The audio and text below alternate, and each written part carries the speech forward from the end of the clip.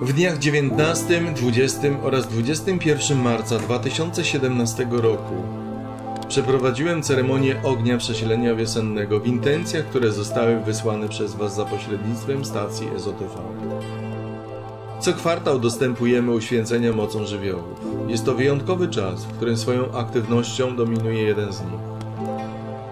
Trakcie przesilenia wiosennego powitaliśmy żywioł wody pod postacią Archanioła Rafaela. Świadome zamawianie osobistych ceremonii ogniowych przywołuje oczyszczenie karmiczne, uwolnienia energetyczne, usuwanie przeszkód, których nie znamy. Jest pomocne w sytuacjach, gdy inne ceremonie i czynności zawiodły. Pomaga w intencji walki z chorobami. Oczyszcza i ociepla relacje w istniejących związkach oraz pomaga w nawiązaniu nowych, trwałych znajomości. Oczyszczenie w trakcie ceremonii ognia pokazuje nowe horyzonty na polu finansów, pracy, kupna lub sprzedaży nieruchomości oraz wszystkich innych zmian, których dokonujesz świadomie. Włączając się w duchowy krąg, dostępujesz świadomych przemian.